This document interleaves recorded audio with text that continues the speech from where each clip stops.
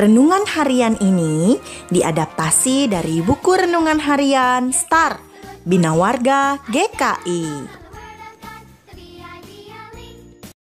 Halo teman-teman, apa kabar? Hmm, Nama aku Bintang. Kalian pernah lihat aku kan di video sebelum-sebelumnya? Hmm, teman-teman, aku mau share gambar nih. Tuh, dua, tiga. Zak. Nah, coba. Ini gambar apa? Pasti teman-teman tahu kan? Iya, betul. Ini gambar gereja. Tempat kita memuji, memuliakan nama Tuhan dan berdoa setiap minggu. Dulu ya, waktu belum masa pandemi. Tapi mudah-mudahan pandemi COVID ini segera berlalu supaya kita bisa ke gereja lagi. Setuju nggak? Pasti setuju kan? Yeay. Jadi dulu ini orang Israel juga berdoa di gereja. Tapi dulu namanya Bait Allah. Sama, Bait Allah juga rumah Tuhan.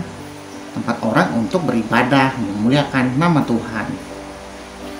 Tapi dulu itu Bait Allah sempat rusak dan tidak bisa untuk beribadah. Puji Tuhan, ada seorang raja Israel namanya Raja Yoas yang mau memperbaiki bait Allah.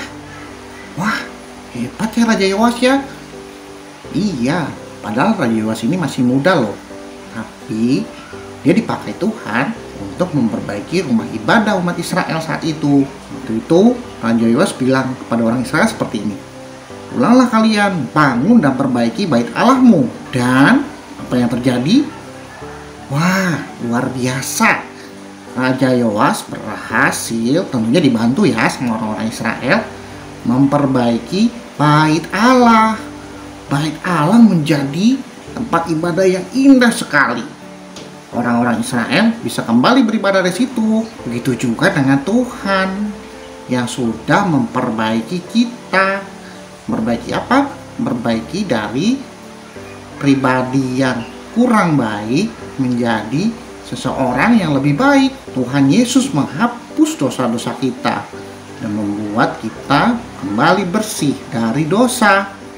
Kita sekarang menjadi anak yang kasih Tuhan, anak Tuhan, anak yang baik hati, anak yang selalu bersuka cita di dalam hati. Oke, sekarang kita berdoa ya teman-teman. Tuhan Yesus, tolong aku.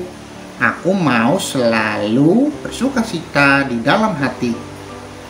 Isi hatiku ya Tuhan dengan sukacita dari Tuhan saja. Terima kasih Tuhan Yesus. Dalam nama Tuhan Yesus kami berdoa. Amin. Dadah teman-teman. Sampai jumpa lagi sama Bintang. Dah.